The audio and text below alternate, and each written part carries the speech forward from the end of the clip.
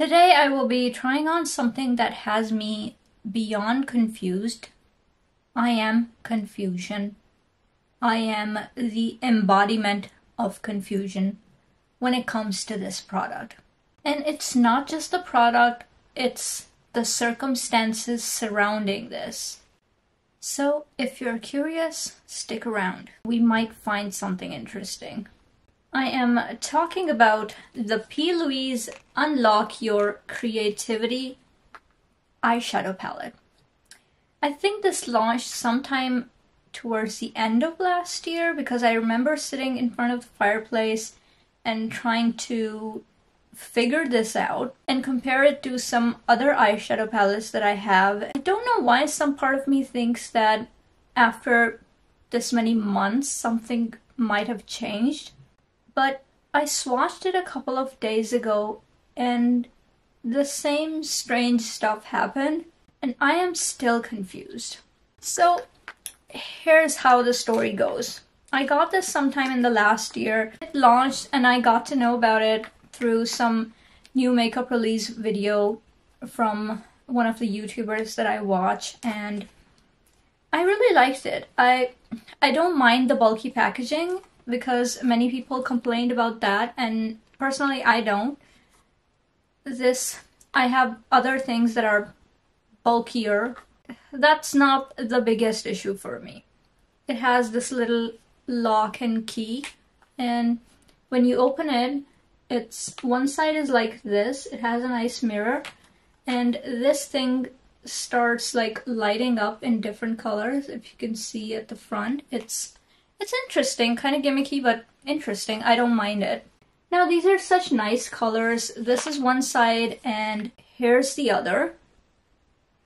Now I haven't really tried anything from P. Louise, partly because of the fact that it's in UK, getting it all the way to Canada, I mean, seems like a bit of a hassle, but I think it's mostly psychological because I don't think the shipping fees are as high as for products that ship from the US. So, I mean, I buy stuff from Beauty Bay. I recently purchased the Martine Cosmetics, the whole Neon Nitro Speed collection. That wasn't too bad either.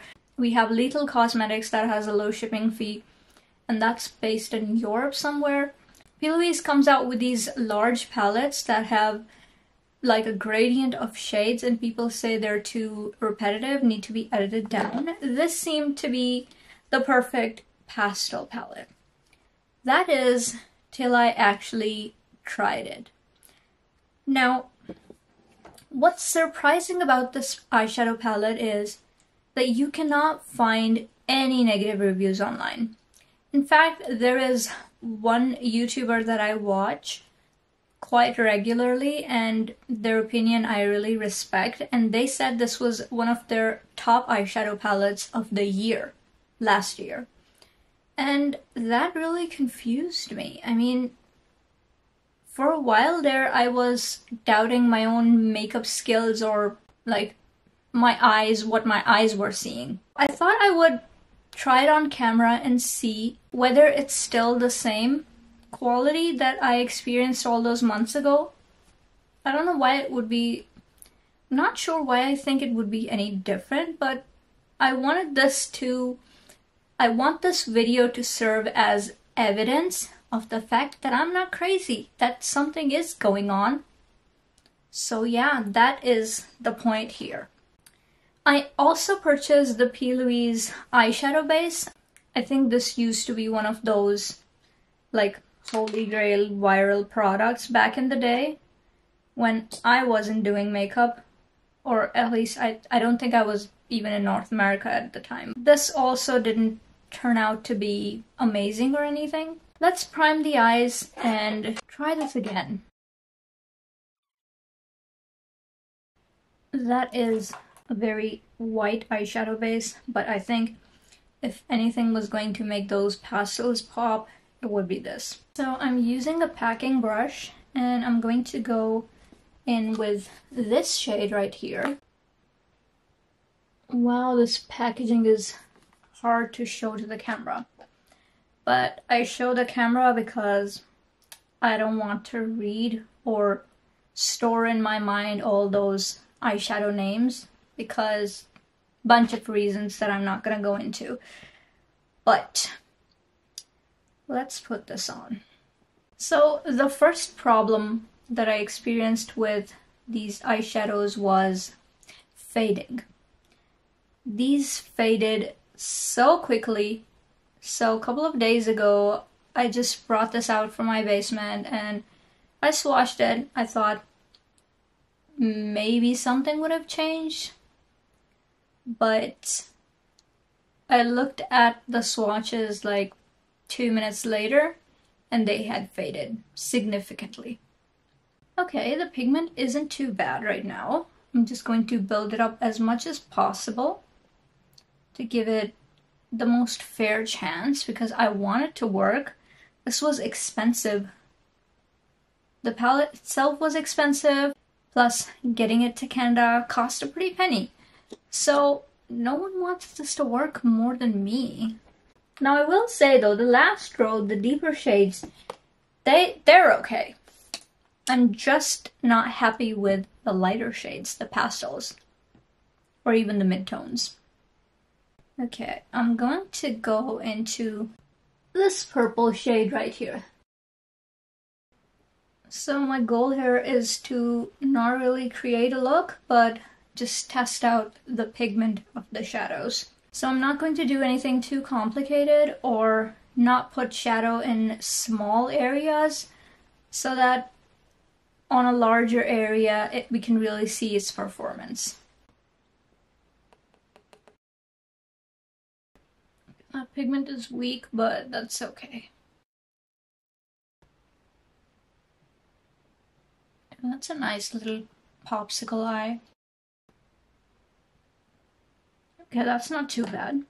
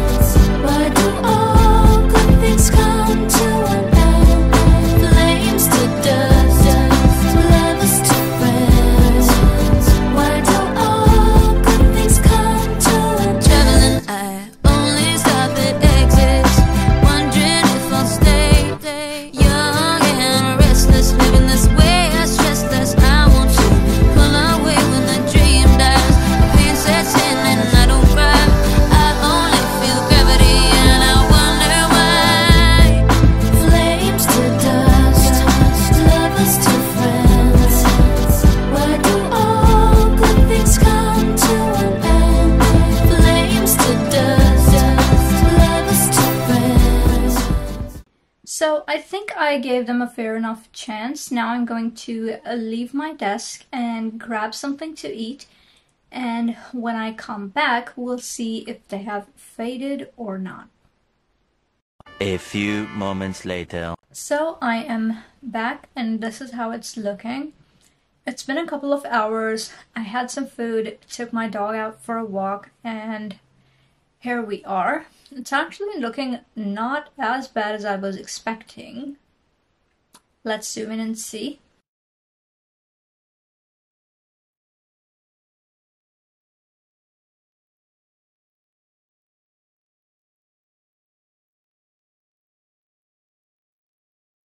It did fade a little, but not as badly as I was expecting. Of course, when I compared it to Blend Bunny all those months ago, I think I was underwhelmed. And maybe that is why I was so confused. The funny thing is, I messaged the company and I said to them, like, this is not good quality. Like, what is going on? They were like, can you show us a video of you using it? In my mind, I just imagine them thinking, maybe I was putting it on with a fork. Or maybe I was just slamming my head head first into there. Like, I don't know what they were thinking, but yeah, I didn't I didn't film it. I was pretty disappointed and I just put it on Poshmark for sale. And it's still there and no one's bought it. If you look here, do you see how patchy do you see how patchy this pigment is right here? Even though I popped it on many, many times. This is sheer, but I would say it's still holding up pretty well. Especially the midtones, they're okay, they're not too bad. But I think I was comparing this to, I don't know, Blend Bunny, Natasha Denona, and of course, I don't think they can compare to that. This is actually holding up much better than I experienced in the past, so maybe something did change while it was in my basement all those months. Maybe I used a different application method. I'm pretty sure I used the same primer because I got the primer the same time as the palette, but in comparison to other things that I enjoyed more, I think this one fell short. And I was kind of pissed because I think I had higher expectations. I think I will still keep testing it out and see if we can make it even better but so far I think it's acceptable, which is strange because, yeah. Okay, that is all for today. Stay tuned for more and I will see you next time.